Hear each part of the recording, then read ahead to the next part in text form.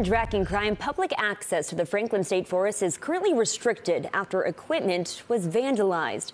The Tennessee Department of Agriculture is working with the TBI to investigate after a dozer and transport truck were damaged.